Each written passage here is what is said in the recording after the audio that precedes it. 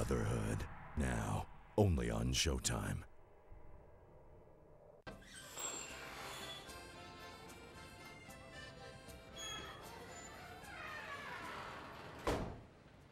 Happy Festival of the Holy Ghost.